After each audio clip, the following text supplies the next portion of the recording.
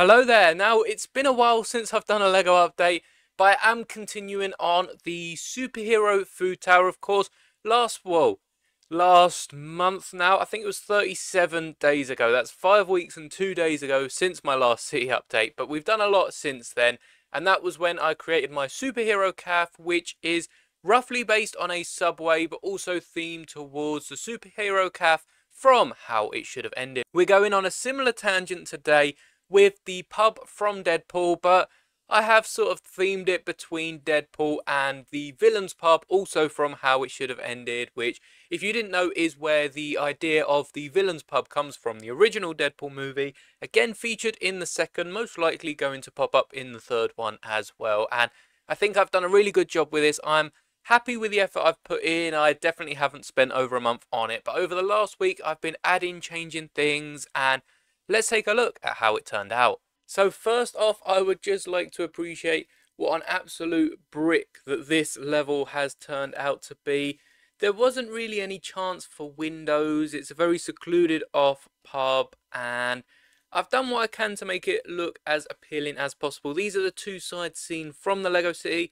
So we've got this above the entrance to the subway below it and this is just up the side. So you can see I've tried to blend the paint out a bit and just to make the walls a bit more interesting, we've got so many different modified bricks, each in different orientations, I guess, all the way around, all four sides of this. Of course, we need a door.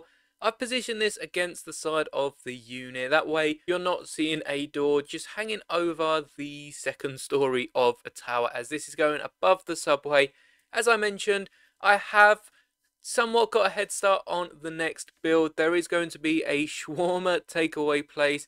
I don't really know how I'm going to do it because originally in the MCU when they are having their shawarmas, there's big arches on the side, but I could always position them towards the wall, hide the arches, and still have it open at the back or perhaps even two sides. So that's going to be really fun to try and build, but that's what's going on top. And then I can't remember what's going on top of that, but I have already built the place for the base for the shawarma place even, which is definitely confusing the more times you say it. And the only problem with the base is because I've connected it using three studs at the side, it's really connected down very, very well.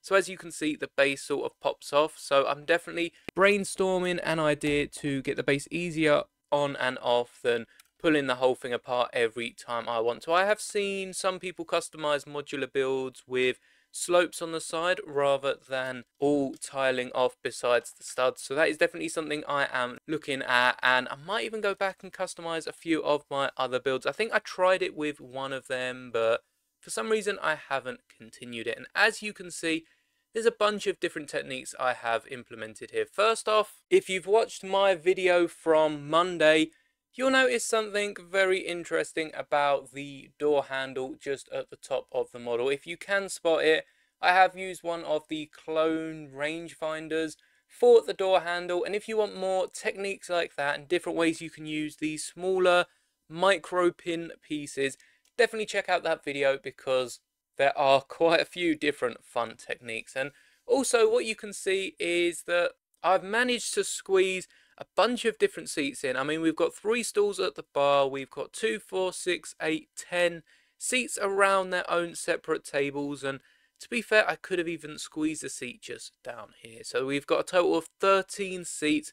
Of course, we had to have the man Papa Palpatine behind the bar because that is who is the bar server waiter in the villain's pub. And right behind, we've got all the bottles. Originally in Deadpool, they did have a bunch of fridges there, which I really wanted to recreate. But to be able to get the bottles in, I would have had to bolt the wall out a little bit more than I already did. And I could have done it if I had some panel and window pieces in this nice dark red. But I just don't have any in dark red, red, and pretty much exhausted all my bricks in this wall.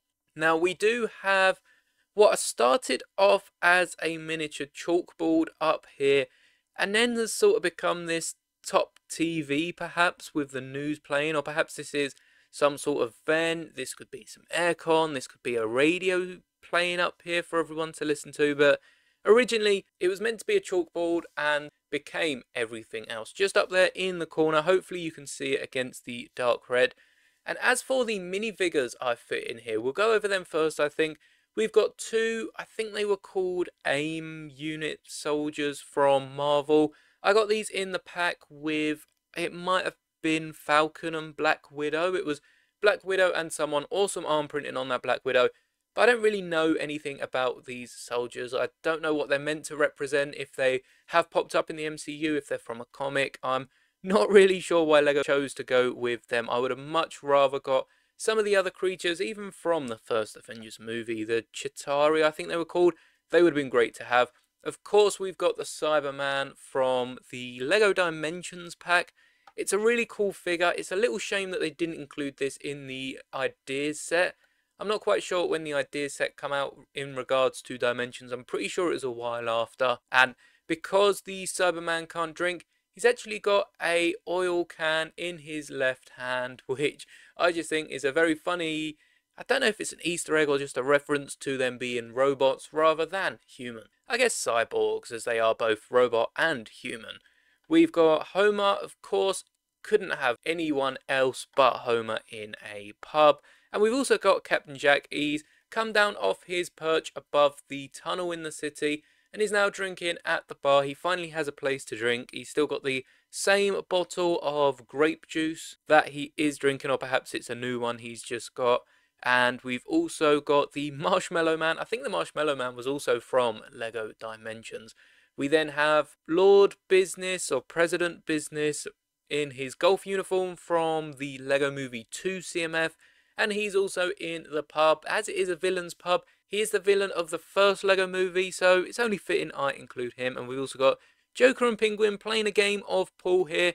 Very happy with how the pool table worked out. I've just used a bunch of round bricks to hold it up. We've got some jumper plates as well, and really just a bunch of different pieces that really bring it together. Of course, it wouldn't be the Deadpool pub without the Deadpool. This is the giant chalkboard where they'd write the names of the people they think aren't going to outlive the others, and whoever's right, I guess, wins some money based on how much they have bet, which is also a fun reference from the movie. And overall, the pub looks quite good. When I was looking at images of the pub, there are a bunch of photographs on this wall. And as it's a pub, normally they're photos of older people and usually something to do with the pub. Or in fact, I think this used to be a school or perhaps was a pub from a school. So I don't exactly know the reference. I know it's something to do with the comics, but I've got a bunch of our spare Harry Potter wizard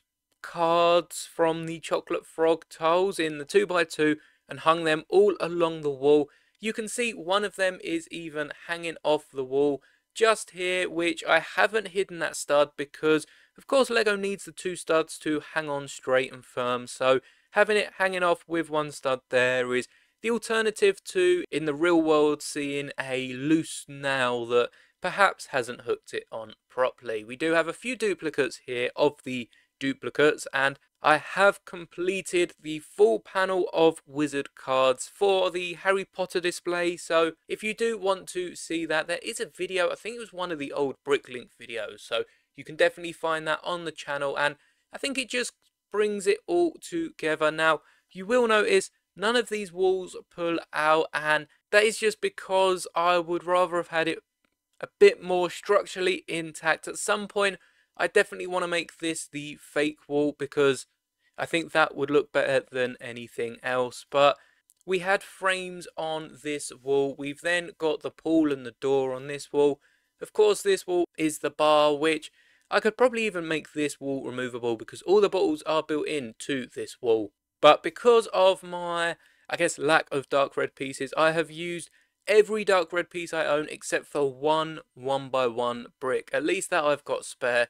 So you can see I've had to use some corner brackets to keep it in here. Perhaps what I could do is keep the corner brackets and find a way to just make this middle bit of the wall removable. Perhaps move the bar over. But that's something I can do in a update. As you can see, the door does open as fully as it can with that handle. And I'm very happy with how this turned out, so I'm going to place it in the city, probably take a few photos for you, and then wrap up the video. So coming over to the city, you can see that the bar does look very nice above the Subway Superhero Cafe. If you haven't seen that video, there is another Hishi reference just by that window there and definitely check it out. But now we've got the bar, we've got the shawarma place that is going on top of that. And then next to Big Bang, we do have a quite a decent space. I've realised that this bar does come up an extra brick to the Friends flat there. Actually, I think it's an extra two bricks there because I've just built that a little differently, but there is enough space to get another two platforms on the top here because over for the sitcom tower, I've built an extra top bit to the Big Bang flat. And again, all of these have their own videos, even some of the roadworks and that. Thank you all for your comments and suggestions on making a porch and something for this. That is going to be its own update, which I'll probably tackle before the shawarma place because I'm really excited with all the different things I can do for that area just down there.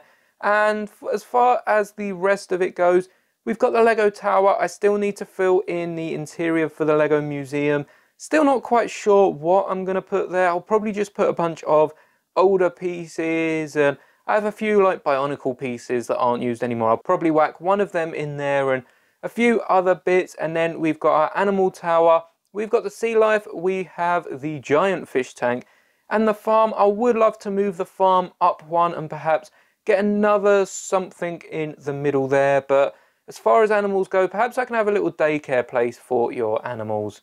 And of course we've still got the lo-fi girls flat built into the rockwork on the right. No lo-fi girl because it was using two of my cmfs that i needed but the rest of it does look really cool. There's definitely a gap where Jack used to be just on the edge of this tunnel, but so far I am very happy with the city and especially now that we've got another building complete. So that is all for this video. I hope you enjoyed these city updates as we are coming so close to completing the city.